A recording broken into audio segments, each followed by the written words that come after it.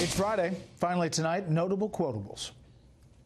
Hopefully, we'll have a meeting on the 12th. Doesn't happen June 12th, it could happen thereafter. The summit is on track, maybe not for June 12th. It's probably likely to be delayed. The process will begin on June 12th in Singapore. You'll see plenty of aluminum steel around. It'll just be made by American hands. Not really the great vacation that I was looking for, but we're still together. I would like to apologise to my wife for the hell she has had to go through the past two days. Can you tell me what the administration has done and will do to prevent these senseless tragedies? There is nothing that could be more terrifying for a kid to go to school and not feel safe. They gave up two lives for their country the one they were living and the one they would have lived. I'm fine. I'm worried about all the people out there who don't have a circle of friends. I cannot allow those forces to continue to cause pain and difficulty to the people that I love.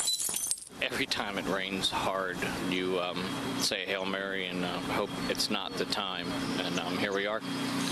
It was time. It's just nothing to fool with. There are lots of really good lawyers in the country. Mm-hmm. He could have picked someone else. Say it. Say impeachment, sweetheart. Just say it. Have you ever thought of being impeached?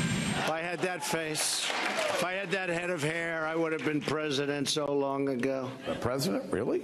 uh, I never quite saw this. Do I have social skills? I don't know. I have social media, that's for sure. We talked about almost everything. We talked about a lot. One week.